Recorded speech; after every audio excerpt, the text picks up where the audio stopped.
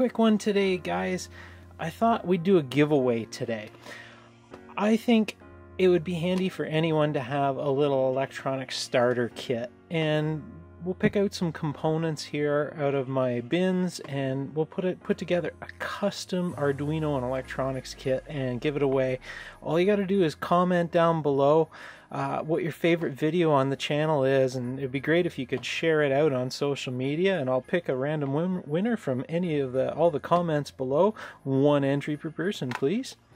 So I think we'll start with Obviously we're going to need a breadboard and some jumper wires to get anyone started. So we'll put that in the kit.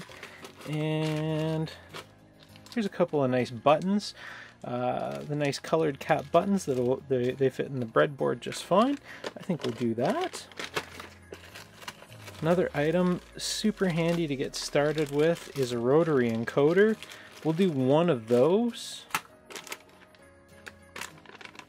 We've got to include a Nokia LCD display. Great for anyone to get started. This really takes any project to the next level. So uh, beautiful, super awesome displays. I simply love these things. They, uh, they just work in any project. So somebody could set up a rotary encoder and set up a menu system. Hey, why not? Let's give them one of those. What else can we pull out of here? One of the beauties of having a lot of components is uh, it's easy to just go raid the raid the heap and, and come up with some interesting projects. Uh, I can pretty much always make just about anything. Um, gotta keep this in mind that might be this I'd like to tune this towards somebody just getting started so let's go to the next bin this is my sort of specialty bin. Transmitters, that's pretty advanced stuff. Ah, can't go wrong. A passive infrared sensor. Uh, I've got a project coming up. I've already prototyped for an alarm system.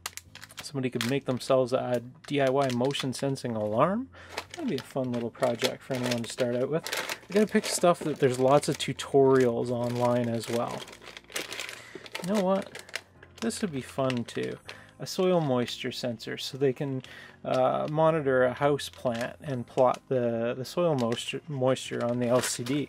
Why not? Let's give them one of those. I think that'd be fun. Go to the next bin.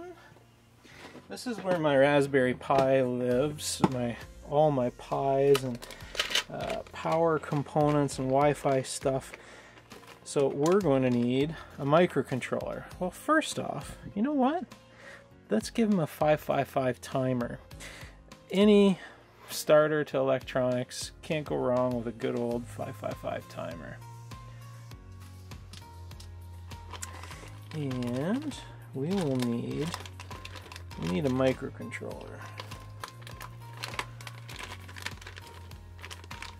Arduino Nano.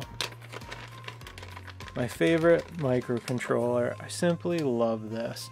It's basically an Arduino Uno, except small form factor.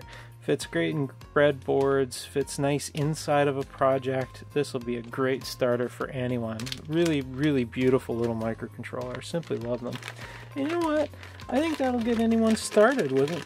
A really cool little electronics kit. You know what? We need a light. So here is one more item, an RGB LED. Uh, this is three LEDs in one, nice big bright, makes for a great indicator on a circuit. This will work good. I think that would be a fun little project kit. This is for you guys. Thank you for everyone who supports the channel. Throw a comment down below and you are entered. And I'll, in an upcoming video, we'll pick a random comment and uh, I'll send this out to you. I should be able to ship this anywhere in the world. I don't think I'll use this case because it'll add too much weight. I'll put this in a nice little package and we'll get somebody all set. Have a fantastic day, guys. Build something cool this week. Uh, I hope you enjoy these videos and I'm glad to get back to normal production. Good luck in the giveaway. Cheers, guys.